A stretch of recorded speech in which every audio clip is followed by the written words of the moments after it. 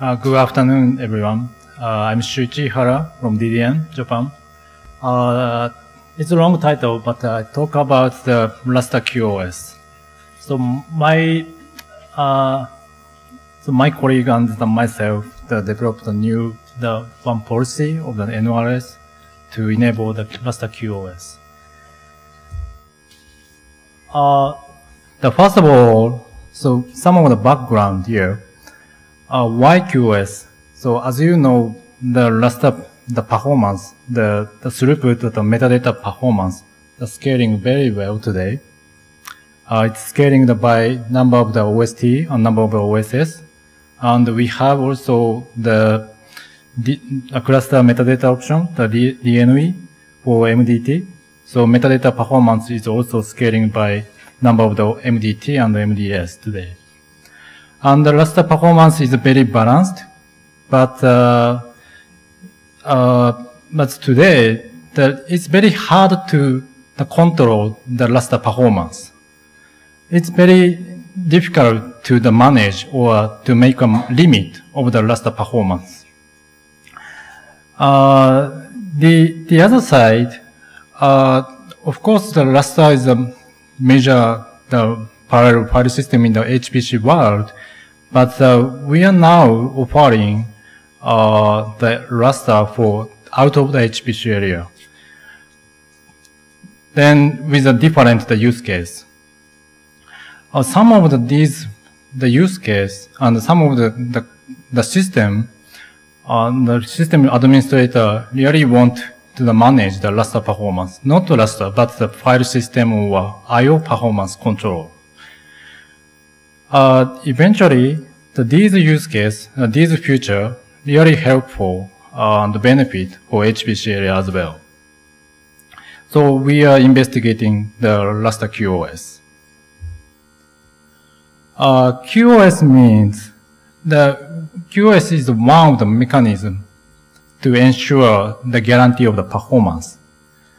Uh, mostly the QoS was developed in the network area, especially the TCP IP uh, as a network area to, to address the, their QoS challenge or the requirement. Uh, QoS is already available on the many network the system or some of the software stack or for network. However, it, it's, it's very the common of, for the network, the system, but it's very less common for the storage system. Uh, some of the store, the expensive the storage system has these QoS or QoS-like feature, but still the less common for the storage system. So we developed uh, one policy layer, which called the Lustre QoS, that we call the LQS, can provide the QoS feature, which controlled by the number of the RPC on the server side. Uh, QoS runs as one of the, the policy of the NRS, Network Request Scheduler. Then finally, the so Lustre QoS limits the Lustre performance by the limiting the bandwidth or the metadata operation. So network request scheduler. So this is a one new common, a new component of the PTL RPC service. Uh, NRS works on the server side and it allows to handle the incoming RPC before the sending the RPC to the OSS and the MDS backend system. So this, this feature was done by Xyratex and Intel, and the main the framework and some of the policy was already merged uh, merged into the Lustre mainstream by Xyratex, then now it's available since the Lustre 2.4. Uh, so NRS is a framework, but it's very powerful and very flexible. And uh, it's fairly easy to, to add a new policy on top of the framework. So the policy can manage the RPC based on the ID, so network ID or GUID or job ID. It's up to the policy. So QoS algorithm, uh, there are many type of the QoS algorithm available. And also the many, the research paper and uh, has been developed over the past few decades. In one of them, the token bucket filter, it's a one of the major the algorithm for to enable the QoS feature in the network system. Because it is very simple and easy to implement. Uh, many Ethernet switch or router use a, a TBF, the algorithm, to enable the QoS feature. Uh, QoS uh, uh, token bucket filter it's allowed very small, the short, the burst, burst of traffic, but for long-term perspective, it's okay to the, for data transmission. Uh, this is a picture to describe the token bucket filter. So you can imagine, so one bucket, and uh, the number of the token repressed uh, into the bucket at the uh, rate R. Then there are the input data and output data, and also the bucket is located on middle of the input and output. So if the input data come and the number of uh, number of the token is already available it's, uh, it's not available in the bucket. So the input data must wait uh, in front of uh, the bucket. Or some case, so input data drop on here. If the token is available, uh, input data, it's sent to the data to the output to go out. So for example, so input put in come, then n token is available. So in this case, the n packet sent to the output to go out. Uh, we also consider the bucket size, the bucket depth, because so in some case, so we we need to allow small the bucket, the burst traffic, the bucket size. However, this is very small. So finally, the output translate is less than the token rate. Though for long-term transmission, so output data controlled by token rate.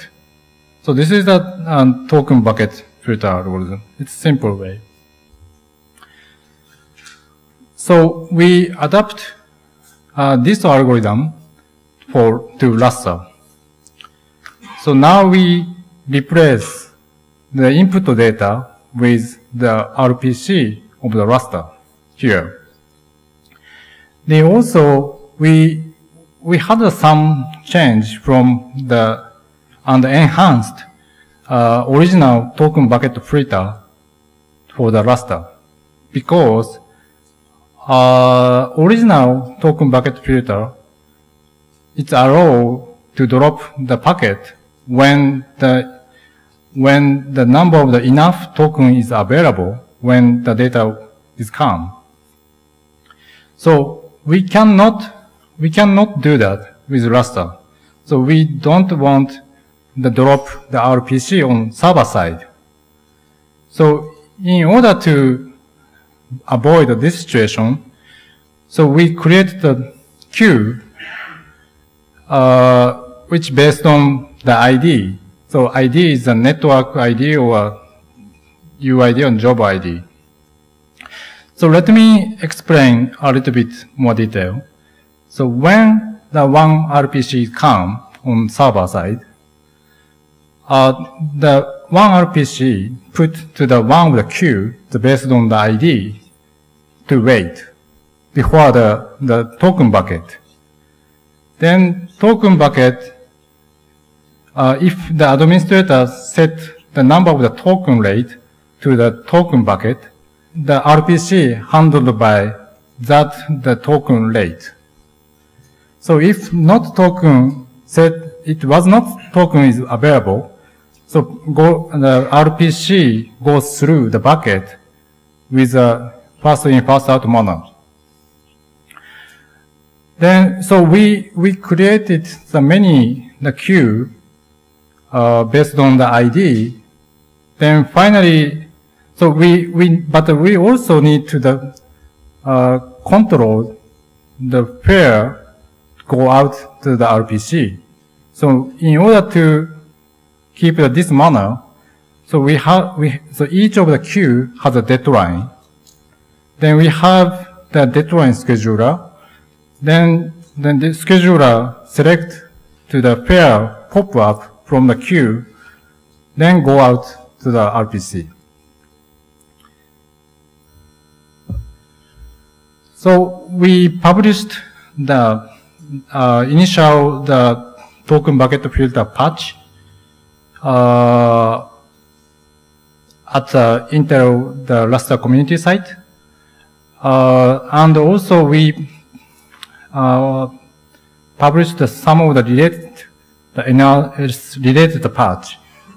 So the 3558, this is the main code of the token bucket filter for Lustre. It's a uh, policy of the NRS. Uh, 3495, this is a new uh, rate counter to see the request handling. So this is the one of the, the proc information to see so how many the request is handled in, in sec or 10, 10 sec or 100 sec. This is very helpful for testing or the production system to see the request handling. The another patch is a, uh, the, one of the enhancement, the heap code in the libcfs. So, so if the Lustre QoS is available, so there's a couple of the, the interesting use case we can use. So this is a very simple the Lustre configuration here. It's very standard configuration. The Lustre server and the Lustre client the Lustre uh, network between them. So no any exception. Uh, but uh, the administrator can set the policy, the QoS policy to some of the client. For example, so if administrator assign to the high Lustre performance priority client to some of the nodes, the other hand, the low, the prior, low Lustre priority client. Then if the user A submit the two job, the same application, then job scheduler allocate the, this job on the some of the, some of the nodes. If this application very IO intensive application, in this, in this case, so job X is much faster than job one, job Y, because so the Lustre performance is bet, the higher than the low priority client. So even the same job, same application, so you can see the different the application speed. So this is the same idea. So we have today the CPU and the memory on the computer node so for example, if if your application want to run the, a lot of the a lot of the CPU core, the a lot of the memory, so job scheduler assigned to the much memory client, uh, the main is the CPU client. So we wanted to add the Lustre performance is the one of the resource of the computer node. then it can be handled. The other use case, so this is the same configuration, but uh, we don't have any uh, high priority client, low priority client. Instead of the client, the performance control, so we give the sum of the Lustre performance, the priority, to the user or job. So in, in this example, so there is a two user here. Then user A submit a job X. User B submit a job Y at the same time, the same application. But the job scheduler on the job scheduler assigned to the sum of the client, but the client, the Lustre priority is the same. However, even in this case, so user A, the job X, is faster than user B, the job Y. Because, so high priority Lustre, high Lustre priority assigned to the user A job. So this is a syntax at this moment. So how to use the Lustre QoS. So you have to, the first of all, so you have to change the NRS policy to use the token bucket filter. And uh, one argument of the token bucket filter.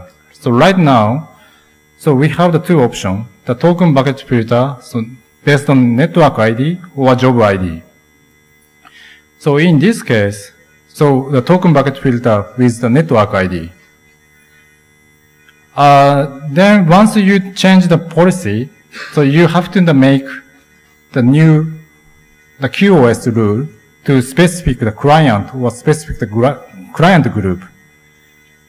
So this case, uh, we assign to the one specific client to token rate is one. The another, the 15, the client group is token rate 10. So you can also change token rate uh, dynamically. So you can use the change command. Then if you don't, if you want to remove the, the rule of the QoS, you can stop command, then undo rule. So drop the, drop the QoS rule. Uh, this is a, the one of the initial the benchmark. So we did. So this is a very simple the benchmarking. We had the 16 client then uh, bunch of the QoS policy was set. And the, the bottom the bottom graph of the of the picture it's very small. So it's very small. The small. So one client assigned to the token rate, 10,000. The another 15 client token rate is 10. So each of the color is a client performance. So you can see the one client performance is much faster than other 15 client. Then 15 client, the performance is so limited by token rate. So next, next the example, the two client token rate are 10,000. The another 14 client is still 10 token rate is same.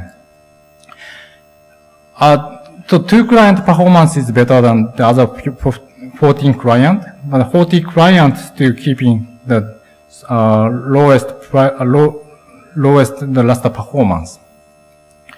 Then finally, the most the upper graph on the picture, the 15 client the token rate is 10,000, then one specific client still, the token rate is 10. So in this case, so one node still the low performance than other 15 client. So this is another the test result, uh, QoS uh, for a job ID, a UID with a jobstats. So jobstats future is available the Lustre 2.3. So the Lustre QoS can work the congestion with the jobstats the future. So you must turn on the jobstats uh, before the start the token bucket filter for NRS. Uh, then also the token bucket filtered argument, the, you, the job ID instead of the network ID here. Then the, you need to the start uh, QoS rule. Then you, you can assign to the one specific the application and the UID and the token rate.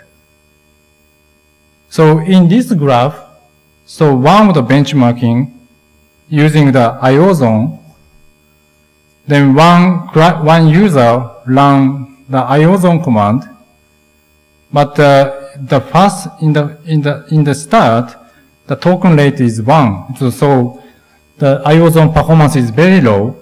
Then we change the token rate during the IO, IOzone is running.